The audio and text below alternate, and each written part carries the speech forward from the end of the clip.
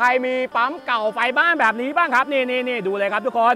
นี่ก็คือปั๊มหอยโข่งนะครับหรือว่าปั๊มบาดาลนะครับถ้าใครมีปั๊มหอยโข่งไฟบ้าน ปั๊มบาดาลนะ จ่ายค่าไฟแพงๆ ทุกเดือนเดือนหนึ่งจ่ายค่าไฟอยู่พันหนึ่งสองพันสามพันไม่ต้องจ่ายค่าไฟและไม่ต้องไปซื้อปั๊มใหม่นะนะครับเดี๋ยววันนี้พี่หมีจะมาสอนวิธีการนำเอาตัวนี้เลยครับทุกคน นี่คืออินเวอร์เตอร์ปั๊มน้ำหรือเรียกอีกอย่างหนึ่งว่า Super Box นะครับ จะทำหน้าที่นะทุกคน เปลี่ยนนะครับพลังงานแสงอาทิตย์นะครับที่ผลิตไฟจากแผงนะ แผงโซลาร์เซลล์ผลิตไฟเป็นไฟฟ้ากระแสตรงนะครับ เอาไฟฟ้ากระแสตรงมาเลยครับ มาเข้าที่ตู้นะครับตู้อินเวอร์เตอร์จะเปลี่ยนไฟฟ้ากระแสตรงเป็นไฟฟ้ากระแสสลับ แล้วก็เอาไฟฟ้ากระแสสลับไปจ่ายไฟให้กับนี่เลยครับทุกคนนี่ครับปั๊มหอยโข่งไฟบ้านหรือว่าปั๊มบาดาลไฟบ้านทำให้เราไม่ต้องจ่ายค่าไฟและปั๊มไฟบ้านนะครับก็สามารถใช้โซลาร์เซลล์ได้ โดยที่ประหยัดตังค์ไม่ต้องไปซื้อปั๊มใหม่ครับ เดี๋ยวในวันนี้นะครับพี่หมีจะสอนวิธีการติดตั้งนะครับ Super Box หรือว่าอินเวอร์เตอร์ปั๊มน้ำตัวนี้แบบละเอียดเลยนะครับ ดูคลิปจบทำด้วยตัวเองเป็นแน่นอนนะครับไปเดี๋ยวไปดูกันครับ โอ้ทุกคนน้ำแรงมากทุกคนดู แรงมากแรงสุดๆโอ้นี่ครับ ปั๊มเก่าไฟบ้านสามารถใช้โซลาร์เซลล์ได้นะครับ เพียงแค่มี Super Box นั่นเองแล้ววันนี้พี่หมีสอนต่อแบบละเอียดมากนะ ทั้งปั๊ม submerse นะครับ submerse ที่ต่อง่ายสุดนะครับ แล้วก็มาปั๊มหอยโข่งปลด cap นิดเดียวนะครับไม่ยากง่ายๆครับทุกคนทำได้แน่นอนนี่ดู น้ำแรงสุดๆเลยครับทุกคน โอ้โห ค่าไฟไม่ต้องจ่ายครับอันนี้นะครับ ใช้พลังงานจากแสงอาทิตย์ครับ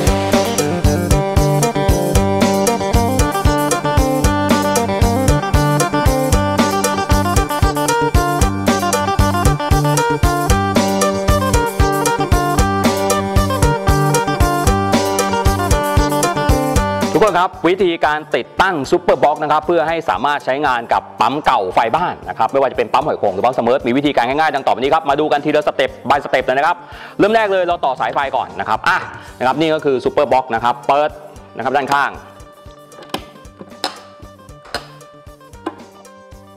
นะครับมันจะมี 2 แหล่งจ่ายนะครับเพราะว่า Super Box เนี่ยสามารถใช้งานกับไฟบ้านได้ และใช้งานกับแผงโซลาร์เซลล์ได้ด้วยนะครับแหล่งจ่ายไฟแหล่งที่หนึ่งครับนี่ครับ สีแดงนี้คือเบรกเกอร์แผงโซลาร์เซลล์นะครับ ตรงกลางนี่คือ surge กันฟ้าผ่านะครับ ตรงนี้เป็นเบรกเกอร์ของไฟบ้านนะครับ สามารถเปิดเป็นไฮบริดได้ กลางวันใช้แดดอย่างเดียวก็ได้ หรือกลางคืนอยากจะเร่งน้ำใช้ไฟบ้านได้ด้วยนะครับ นี่คือข้อดีของ Super Box ใช้ไฟได้ 2 ระบบเลย แล้วก็ทำให้ปั๊มเก่าไฟบ้าน สามารถนะครับใช้แผงโซลาร์เซลล์ได้โดยไม่ต้องซื้อปั๊มใหม่นะครับ ขั้นตอนที่หนึ่งครับ เราเอาสายโซลาร์เซลล์ทุกคนดูนะเห็นไหมสายสีแดง สายสีดำ นะครับนี่ก็คือสาย PV Solar Cell นะครับสีแดงนะครับขั้วบวกดูนะครับ ตรงนี้ก็จะเขียนไว้ว่าโซลาร์เซลล์ขั้วบวกครับเอามาใส่นะครับนี่ครับทุกคนนี่ใส่เข้าไปที่ด้านล่างของเบรกเกอร์ แล้วขันน็อตให้แน่นครับสายโซลาร์เซลล์สีดำครับเห็นไหมทุกคนนี่คือสายโซลาร์เซลล์สีดำขั้วลบนะครับแล้วตรงด้านนี้ก็จะเขียนไว้ว่านะครับโซลาร์เซลล์ขั้วลบครับก็เอาสายสีดำขั้วลบครับใส่เข้าไปนะครับที่เบรกเกอร์ของแผงโซลาร์เซลล์นะครับนี่ก็คือแหล่งจ่าย ไฟแหล่งที่ 1 ก็คือแหล่งของผู้จ่ายไฟจากแดดนะครับได้แล้วนะหนึ่งแหล่งนะ แหล่งที่2ครับเนื่องจากว่านะครับ Super Box เนี่ยสามารถใช้งานกับไฟได้ 2 ระบบเลยไม่ว่าจะเป็นไฟบ้านแล้วก็ไฟแดดนะครับตรงนี้เป็นเบรกเกอร์ไฟบ้านนะครับเราก็เอานะครับสายไฟบ้านนะครับ line neutral ทุกคนดูนะ นี่นี่นี่นี่นี่ครับสีน้ำตาลนี่ครับลายนี่ครับเอาใส่ที่เบรกเกอร์ของไฟบ้านต่อมาครับ สีฟ้านะครับ neutral ครับเอาใส่ที่เบรกเกอร์ของไฟบ้านที่ฝั่ง neutral นะครับจะมีเขียน mark ไว้ตรงนี้นะ ปลายแล้วก็ neutral นี่คือเสร็จแล้วนะ ตอนนี้ได้ 2 แหล่งจ่ายไฟแล้วครับก็คือแหล่งจ่ายไฟที่ 1 ใช้แดดเป็นหลักจะได้ประหยัดไฟนะครับไม่ต้องใช้ไฟบ้านเลยนะครับแหล่งจ่ายไฟที่ 2 ก็คือนะครับไฟบ้านถ้ากรณีที่อยากจะเร่งน้ำหรืออยากจะใช้ไฟบ้านร่วมด้วยก็ได้ ไม่ต่อไฟบ้านก็ได้นะครับใช้แดดอย่างเดียวก็ได้ด้วยนะครับอะนะครับตอนนี้เราต่อเสร็จแล้วนะก็คือนะครับ สายไฟโซลาร์เซลล์ต่อเสร็จแล้ว สายไฟบ้านต่อเสร็จแล้ว ต่อมาครับเอาสายไฟปั๊มอะทุกคนดูนะ ปั๊มน้ำนะครับไม่ว่าจะเป็นปั๊ม submerse ไฟบ้านเนี่ยนะครับปกติจะเป็นปั๊ม 3 สายอยู่แล้วนะครับเราเอากล่อง control ของปั๊มออกไม่ต้องใช้เลยนะครับและใช้กล่องจาก Super Box แทนนะครับนี่ครับนี่คือสายไฟที่มาจากปั๊ม submerse นะครับเป็น 3 สายนะครับ UV เดี๋ยวมันอยู่กับช่องนี้ครับเอามาต่อเลยทุกคนดูนี่อ่าเอา U ต่อเข้าไปนะครับเอา V ต่อเข้าไปนะครับ แล้วก็เอานะครับ W ต่อเข้าไปนะครับอะนะครับนี่ก็คือขั้นตอนนะของการติดตั้งนะครับ ต่อมาครับสายดินนะทุกคนดูนี่คือสายดินนะครับ สายดินครับเราก็เอาใส่เข้าไปนะครับ มาต่อตรงนี้ครับตรงเสิร์ฟการฟ้าผ่านี้นี่ครับใส่สายดินเข้าไปนะครับ นี่คือเรียบร้อยนะครับ นี่คือการติดตั้งนะครับ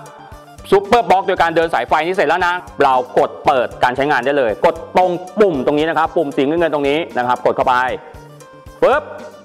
อ่านะครับเรียบร้อยแล้วนะครับ เพียงแค่นี้ครับปั๊มน้ำก็ทำงานแล้วครับ ป้าเดี๋ยวไปดูภาพน้ำกัน โอ้ทุกคนน้ำแรงมาก ทุกคนดู แรงมากแรงสุดๆโอ้โหนี่ครับ ปั๊มเก่าไฟบ้านสามารถใช้โซลาร์เซลล์ได้นะครับ เพียงแค่มี Super Box เท่านั้นเองแล้ววันนี้พี่หมีสอนต่อแบบละเอียดมากนะ ทั้งปั๊ม submerse นะครับ submerse ที่ต่อง่ายสุดนะครับ แล้วก็มาปั๊มหอยโข่งปลด cap นิดเดียวนะครับไม่ยากง่ายๆครับทุกคนทำได้แน่นอนนี่ดู น้ำแรงสุดๆเลยครับทุกคน โอ้โห ค่าไฟไม่ต้องจ่ายครับวันนี้นะครับ ใช้พลังงานจากแสงอาทิตย์ครับ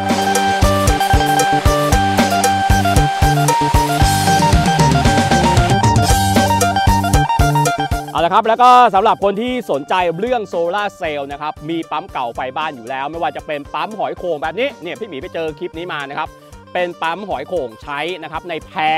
นะครับที่เมืองการ แล้วตรงนี้ครับสอบถามกับนะครับทางเจ้าของสวนแล้วปรากฏว่านะครับมันอยู่ปลายสายไฟตกบ่อย ไฟตกบ่อยทำไมฮะไฟตกปั๊มร้อนปั๊มไฟบ้านบางทีนะครับใช้ไม่นานปึ้งมอเตอร์ไหม้เลยนะครับนี่ก็คือปัญหาหนึ่งนะครับของพี่น้องชาวสวนที่นะครับมีนะครับอยู่ในพื้นที่ปลายสายอะ นะครับแล้วก็เปลืองค่าไฟมาก เดือนหนึ่งพันห้าสองพันสามพัน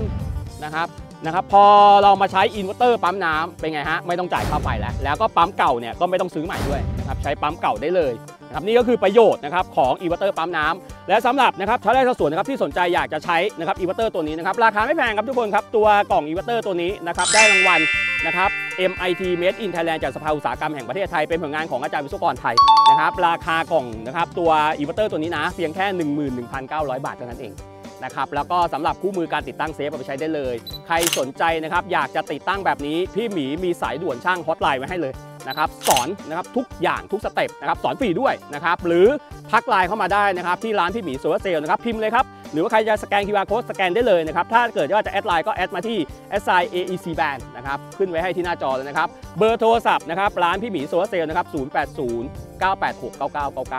080 986 9999 นะครับเซฟเบอร์ลงเครื่องไว้เลยนะครับว่างวันไหนสะดวกวันไหนโทรมาครับสำหรับในวันนี้พี่หมีลาไปก่อนครับ สวัสดีครับ